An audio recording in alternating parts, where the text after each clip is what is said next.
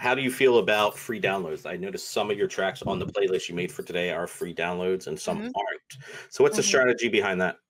So, usually if they aren't, it's because I know that, like, a writer is already doing something with it, but the exclusive is kinda, like, still in the air. But it kinda just, like, you know, out of respect for the person writing, like, I might not leave it up as, like, a free download anymore because I know that there's somebody interested. But for all the other ones that do have a free, um, download, it's kinda like a free for all. And I know, like, people they'll, like, rip beats off of YouTube all day, but at least if I'm giving them, like, the free option, I at least get their email in exchange for it. So, I mean, it might not be like a a sale for that time period, but who's to say it's not gonna lead to that, though? And at least I have, like, their direct contact information, so that's kinda like my strategy behind it. And, you know, like, just as an artist also, like, if I could get the free version of it and I'm not, like, crazy putting my tag every 15 seconds or something. So, it's like, yo, if they catch a vibe and actually like, record, like, a soft demo to it, I'm knowing, like, that might be something that they purchase later on.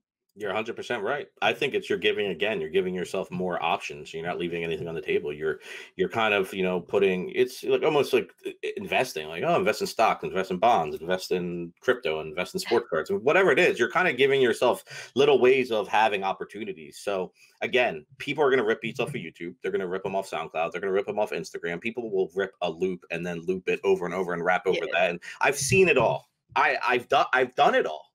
Uh, unfortunately, back back in the day, you know? Like, you know. I I it's it's listen, it happens. Um, so I think I think why not give them that option and get their data, you know, get their email. Um, we have, uh, uh, app on their SMS app on BeatStars integrated too. You can get people's phone numbers in exchange for, you know, a free beat.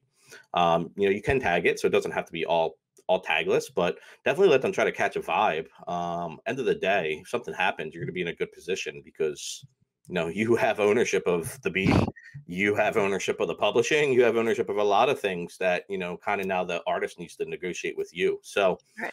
um, overall, I think it's it's gonna happen, so why not try to be proactive about it and and get something out of it, more out of it, you know? Like I said, data, Exactly. ways to remarket. So, um, yeah, it's a crazy game. Listen, we didn't make the rules. We're just trying to we're just trying to we're just trying to keep up and find, you know, unique ways to work, collaborate.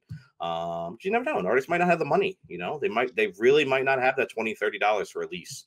So, um, I'm not saying give away all your beats for free, but what I'm saying is to have that option, I think is beneficial, um, for sure.